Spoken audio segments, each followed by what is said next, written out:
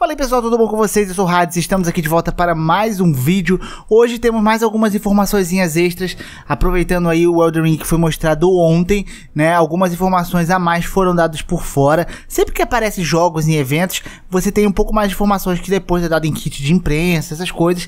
Então tivemos algumas pequenas informações aí a mais que não é mostrada no trailer sobre o Elden Ring. A gente vai compartilhar isso aqui. Então, lembrando, né, a gente começar o vídeo, se você puder apoiar com aquele like, se inscrever no canal, eu agradeço bastante. Puxa aquele baquista aqui do nosso lado e vambora pro vídeo. Elden Ring é o projeto mais ambicioso até hoje feito pela From Software.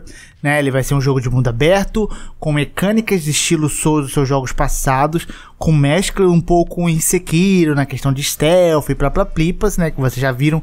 Ali, se vocês não viram a análise do trailer completo, recomendo assistir aí, é o último vídeo que saiu aqui do canal.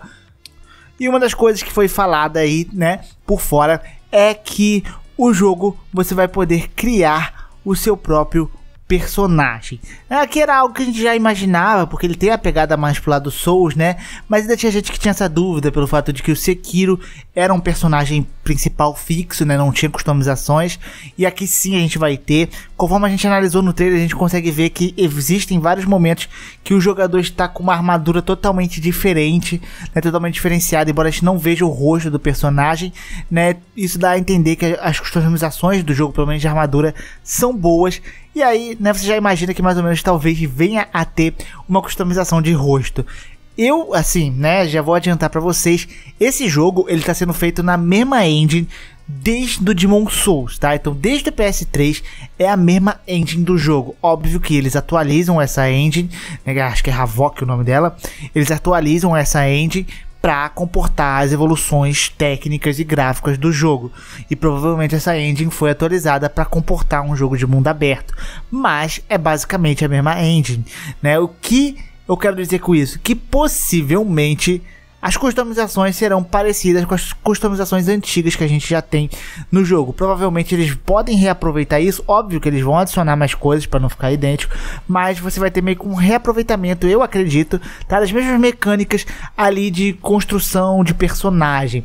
Então, é, se prepara para você não criar personagens muito bonitos igual os jogos Souls. Tem uma customização livre, tem uma customização até legal para você criar muitas coisas diferentes, para você criar tipo umas paradas bem zoeira e tal mas criar coisa muito bonita não é algo muito fácil de se fazer. Então eu acredito que essa customização vai andar na base aí dos jogos antigos Souls, mas a gente tem ela aqui, você vai poder customizar seu personagem para 5 minutos depois colocar um capacete, vai, e é sempre bom a gente customizar o personagem, por mais que a gente talvez não veja o, jogo, o rosto dele pelo resto do jogo. Mas isso daí é uma coisa legal e muito boa de se ver. Outra coisa que falaram aqui, né, é que o jogo ele vai mesclar gameplay de ação com stealth, algo que a gente também pôde ver no trailer, que você tem mecânicas ali de agachar, algo que foi bem estudado no Sekiro, então eles pegaram, eles aprenderam com o Sekiro para trazer isso aqui pro jogo, tá? E aí você pode escolher como você vai se aproximar dos inimigos. Não sei se vamos ter aqui no caso builds específicas para esse tipo de coisa. Se você vai ter tipo uma build específica para furtivo, por exemplo. Eu acho que vai ser uma pegada bem Sekiro, né? O stealth vai ser uma mecânica para te ajudar a eliminar alguns inimigos para você enfrentar é, um número menor, que era o que você fazia isso aquilo. Só que passar tudo no stealth não era algo muito fácil e em muitos momentos nem tinha como, né? Tem coisas que não dava pra passar no stealth. Eu acredito que vai ser algo parecido aqui. Você vai conseguir eliminar, sei lá, vai ter 10 inimigos ali. Você consegue eliminar 3, às vezes 4 no stealth e depois você tem que partir pro, pra loucura. É algo que eu acho que vai ser assim. Mas, né, isso não foi confirmado, mas ele fala que vai mesclar, então a gente vai ter esses elementos de stealth, a gente viu também no trailer. Mas, né, espero que seja algo parecido com Sekiro, algo que eu gosto. Não sei se encaixaria muito bem uma build pura stealth, esse tipo que dava fazendo Skyrim depois de um certo level. Não sei se isso encaixaria bem, mas é basicamente isso aqui. Algo que foi aí frisado que a gente comentou no trailer também sobre as dungeons do jogo e que as dungeons, né, de fato vão ser algo que a From Software já faz.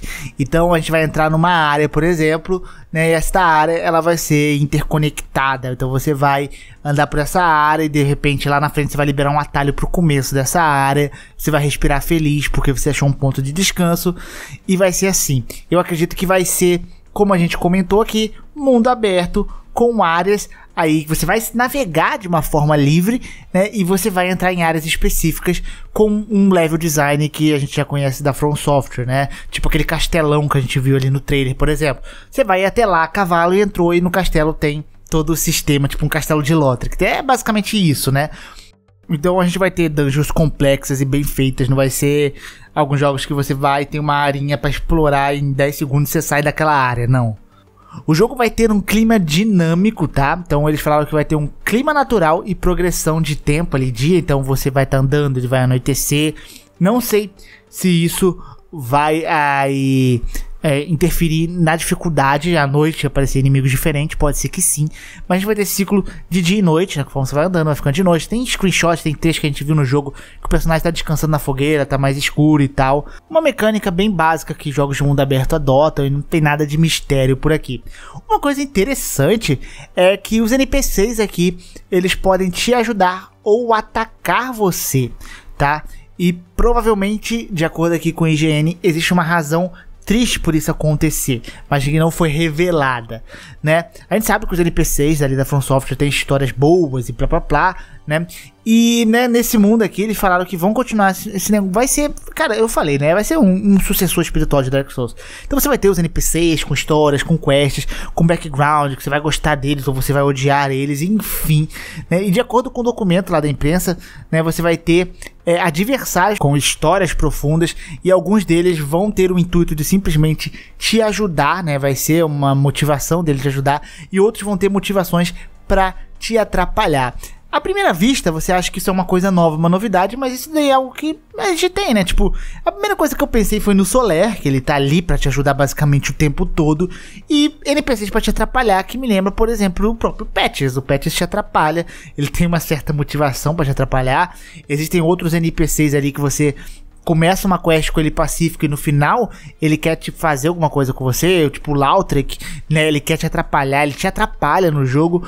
Então é algo que eu acho que não é muito diferente do que a gente já viu nos jogos Souls aí pode ser que tenha uma motivação maior, né? Você tenha realmente um NPC, uma espécie de NPC que seja um vilão que fica te perturbando basicamente parte inteira do jogo, algo que a gente fica limitado a quest nos, nos jogos Souls antigos. Pode ser, mas em geral, pelo que eu entendi, essa mecânica é algo que a gente já tinha. Outra coisa aí que eles falaram um pouquinho sobre os biomas do jogo, tá? De planície a pântanos, é, locais gramados, que a gente viu também bastante no trailer, pântanos que a gente vai encontrar, né? Montanhas gigantes, castelos ameaçadores. Então a gente vai ter uma uma troca. Eu espero que tenha áreas geladas no mapa, seria interessante. Mas a gente vai ter essa troca de bioma aí, porque é um jogo de mundo aberto. Inclusive, né, tem uma screenshot aí que saiu recentemente junto aí com o trailer, que mostra o personagem numa espécie de caverna, né, meio que lembra muito essas áreas venenosas do jogo. Aqui a gente tem uma área bem aí com aranhas, né? Então você tem ovos de aranha na parede, você tem aranhas ali tudo ao redor e o personagem tá ali com uma com uma tocha. Isso aqui provavelmente é uma área pertencente talvez a uma área pantanosa, por exemplo, uma caverna que você entra e você pode explorar ela. Né? Então, algo do tipo, nós vamos ter esses ambientes assim, né, é, pantanosos, venenosos, com criaturas venenosas. Isso aqui na verdade não é nem uma aranha, né? Eu acho que é uma formiga, né? Enfim, mas é, é, é esses bichinhos loucos aí da vida. E, enfim, então a gente vai ter essa troca boa aí de biomas do jogo, ao que tudo indica. É, mais alguns detalhes também falou que você tem o objetivo de se tornar um Elden Lord, né, que vai ser, obviamente, é, explicado na história disso aí, tá? Então parece que tem uma, uma tal de ordem dourada que tá quebrada e é por meio desse Elden Ring, né, que você vai se tornar aí um Elden Lord. Então é uma explicação básica da lore, obviamente a gente vai ter mais coisas aí para explicar como a gente vai jogando o game normalmente. E vamos falar algumas coisinhas um pouquinho mais técnicas, né? Porque a gente vai ter aí melhorias de versões, né, do PS4, do Xbox One para a versão nova do PS5 e do Xbox Series S e do Series X, tá? Então vai ter melhorias e essas melhorias vão ser gratuitas, tá? Então, sei lá, se você tem um PS4 agora, você compra o Elden Ring, você joga, depois no futuro, sei lá, você pegou um PS5, você vai jogar ele com a versão de PS5 totalmente gratuita Aí, ó, ensinando pra EA como é que faz jogo. From Software, muito bem, né? E você vai ter aí o sistema de, de entrega inteligente do Xbox, né? E você, no PlayStation, no caso, você vai poder instalar uma atualização aí para suas cópias que vão fazer este update. Ainda não sabemos o que vai mudar, se vai ter mudanças drásticas, né, de de geração ou se vão ser apenas mudanças de resolução, FPS.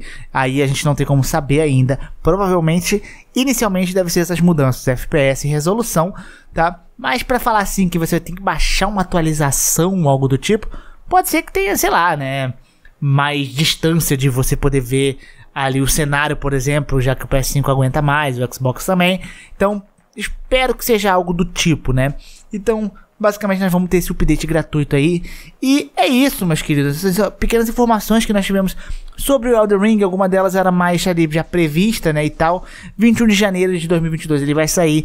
É óbvio que antes dessa data provavelmente vão sair gameplays. Eu não sei se ainda vai ter gameplay uh, na, na, na E3 ainda, no evento da Bandai. Mas a gente já tem bastante coisinha, bastante informação. Eu tô ficando saciado, tô, tô saciado com o Elden Ring já. Então esse aqui, eu espero que vocês tenham gostado do vídeo. Grande beijo, grande abraço, um beijo no popô. É nóis. E fui.